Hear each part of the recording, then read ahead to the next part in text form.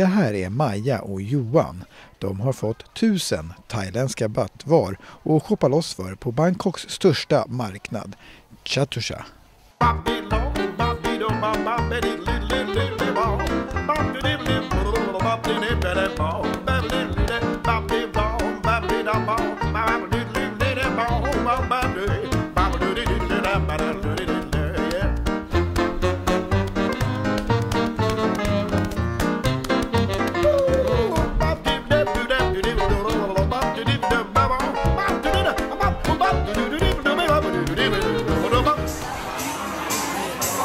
Chatusha är en helgmarknad.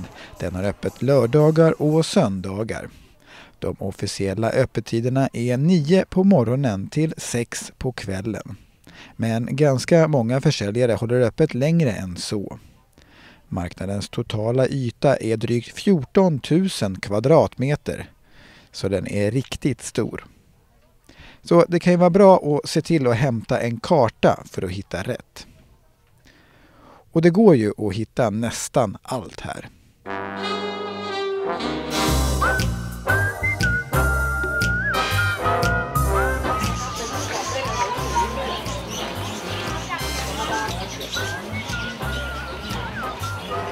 Eighty baht for ten.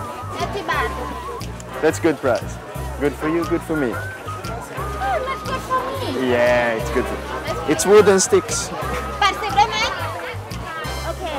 Okay. It's nice.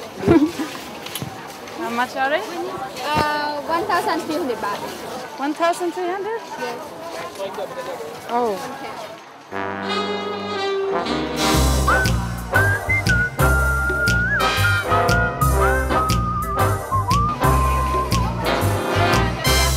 Jag har köpt ett halsband eh, och ett linne och en hängmatta. Eh, och vad har jag mer köpt? Ja just det, rökelser. Kokosnötsrökelser har jag köpt.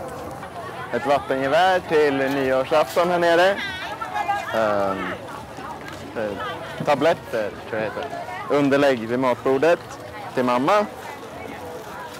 Kinapinnar. Och eh, en two-pack t-shirt.